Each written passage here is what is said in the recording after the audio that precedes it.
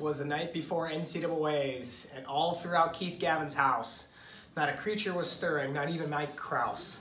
Right? So you wrestling people will get that. So it is NCAA weekend. So going after your dreams right? It is March Madness is happening right now. So I'm heading to Pittsburgh to watch the NCAA championships. What's crazy is 2019, 10 years ago, I won my last national title in college and placed then after that second place in the world. So what I want to say about going after your dreams, right? These guys are putting it all on the line. There's like 180 athletes that qualify and go. Only 10 are walking away with a championship.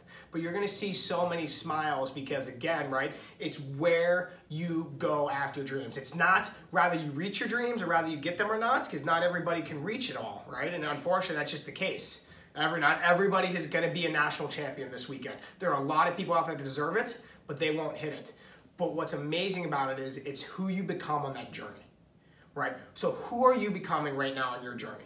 Your dream is important rather you make it or achieve it or not, also can be important.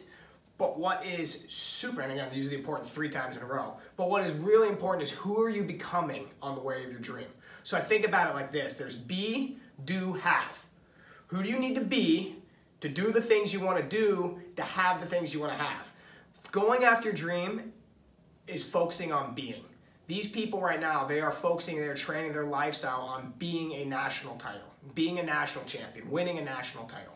So what I love about that and how that relates to you, right, is watch these kids. You're going to see heartbreak. You're going to see tear jerks. You're going to see people that should be a national champion. They lose and they end up third and they're going to be happy with joy because they actually pulled themselves back and came back from this adversity. It is one of the most amazing things to do. So what I want to do is I want to help your dream come true right? And again, I love doing this with real estate. If you are interested in buying, selling, investing in real estate, I am 100% your guy, but there are other aspects that I can help you in. So right now I want you to do this. Reply to this email, write down what your big dream is, where you're gonna be sitting in March 2020 from now.